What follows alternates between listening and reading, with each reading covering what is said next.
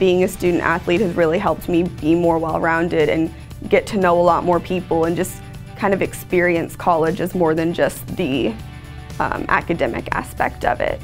I've always been a very competitive person, so it's it's a lot of fun for me to just go out there and try my best and have fun and whether I win or lose, it doesn't really matter to me as long as I felt that I did really well. The Southern Collegiate Athletic Conference, a conference of good sports.